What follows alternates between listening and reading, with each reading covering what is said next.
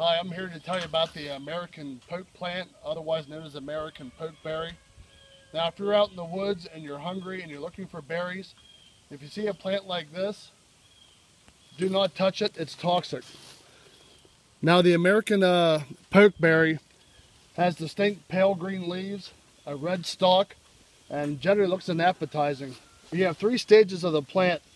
The flowering stage, the seed stage, this is where, uh, before they become berries, this is where a lot of toxins located. Uh, it's concentrated in this area.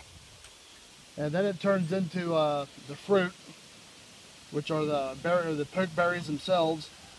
Now, if you ever wondered why, uh, if you see bird droppings in the wintertime or all over your car or whatever, now this berry here is uh, a food source for uh, songbirds, but unfortunately the European starling, which is a pest bird, will eat these and they defecate every 15 minutes.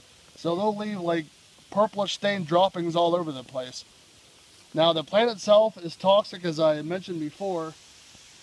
The uh, branch and the leaves contain a lot of toxin and so do the green fruit before they ripen. Now the purple berries themselves don't have as much toxin. The plant won't kill you, but it will make you sick. And if you're out lost in the woods and you're in a emaciated, dehydrated state, this probably won't help you any.